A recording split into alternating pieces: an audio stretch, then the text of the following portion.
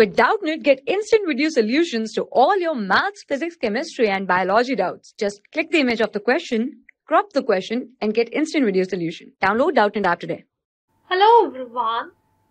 In the pulley block arrangement shown in the figure, find the relation between acceleration of block A and B.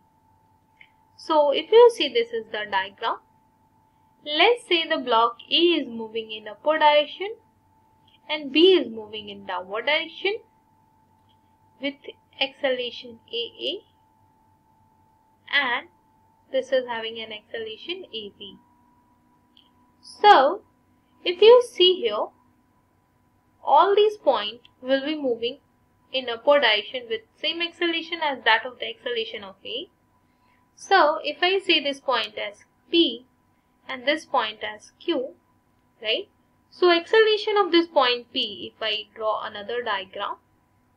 So acceleration of point P is AA in upward direction and acceleration of Q point will be same as that of the block B because it is attached to it. So it will be AB in downward direction. And if you see here, this pulley is also connected with this string like this if you see. If this point is moving upward with an acceleration of AA downward, this pulley will be moving in downward direction with AA acceleration in downward direction. Now, if I say the acceleration of the pulley in downward direction, if I calculate that, acceleration of the pulley, it will be downward acceleration of P plus downward acceleration of Q by 2. That is AP plus AQ by 2. Acceleration of P point is minus AA and acceleration of Q point is AB.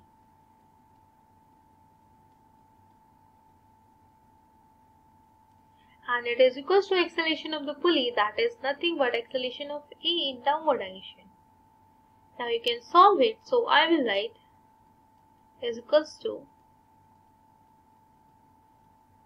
this. From here I will get the relation between the magnitude of the acceleration is this. 3AA is equals to AB. 3 times of acceleration of A will be equals to acceleration of the block B. Now you can see the direction as we have as we have seen here. Acceleration of B is in downward direction acceleration of A is in upward direction. So both acceleration are in opposite direction.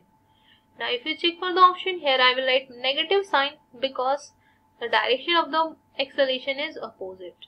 So AB is equal to minus 3 times of A that is this is the correct option. So B here is the correct option. Thank you. For class 6 to 12, IIT JEE and NEET level. Trusted by more than 5 crore students. Download Doubtnut app today.